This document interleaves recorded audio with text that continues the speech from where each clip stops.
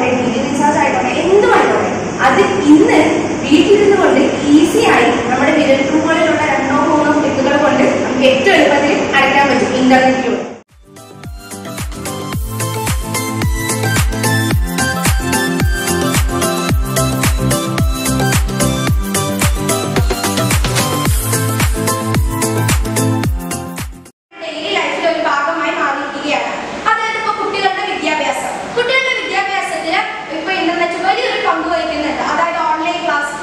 നീട്ടി നിൽക്കുന്ന ചില ക്ലാസ്സുകൾ പിന്നെ അവർക്ക് വല്ല സംശയം ഉണ്ടായാൽ മറ്റ് വെബ്സൈറ്റുകളിൽ അന്വേഷിച്ച് അതിന് ഉത്തരം കണ്ടുപിടിക്കുന്നത്. ഇത്തരത്തിലുള്ള കാര്യങ്ങളെല്ലാം വിദ്യാഭ്യാസ രംഗത്ത് ഉണ്ടായിക്കൊണ്ടിരിക്കുന്നുണ്ട്. അപ്പൊ ഭാവിയിൽ നമ്മുടെ വിദ്യാഭ്യാസ രംഗം എങ്ങനെയാണ്